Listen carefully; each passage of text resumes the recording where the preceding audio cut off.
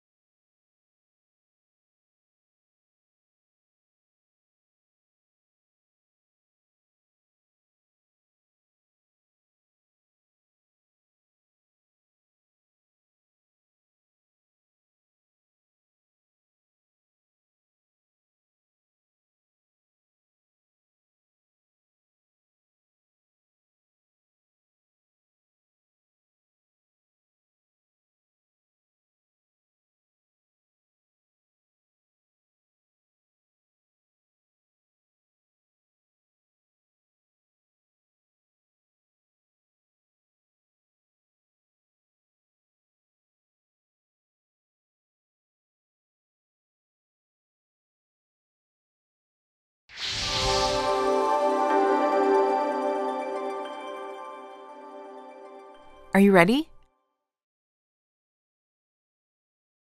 Shh, quiet please. We're about to start.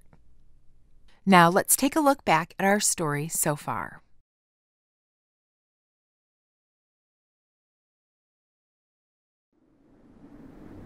The Bible is a sacred story, echoed to us from the ancients. An epic, revealing the great Creator's pursuit of wholeness for all of creation. May we find ourselves in this amazing story.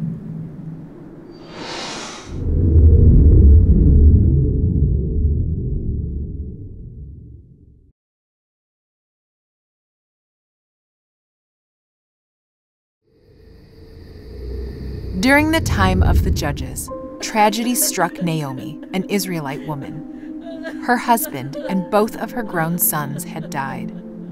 But her daughter in law, Ruth, clung to Naomi and vowed to take care of her.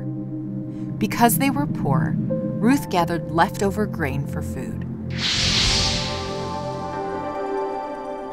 The field owner, Boaz, was a wealthy relative of Naomi. He thanked Ruth for caring for Naomi and gave her grain and water. When Naomi heard about this, she sent Ruth to meet with Boaz.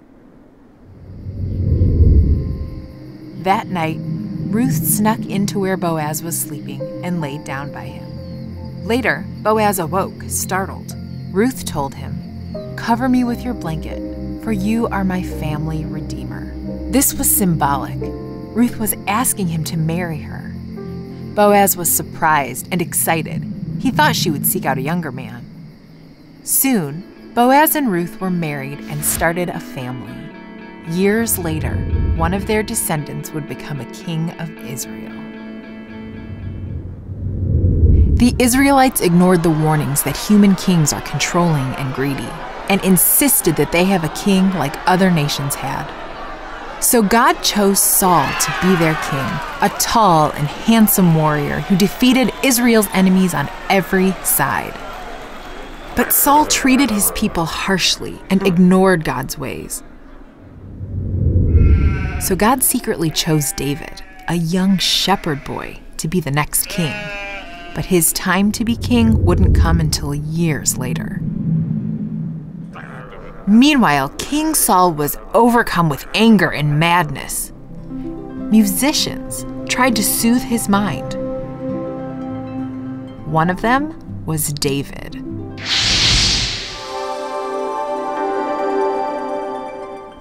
Saul grew to love David and made him a trusted servant. Saul's son became David's best friend. Then David married Saul's daughter.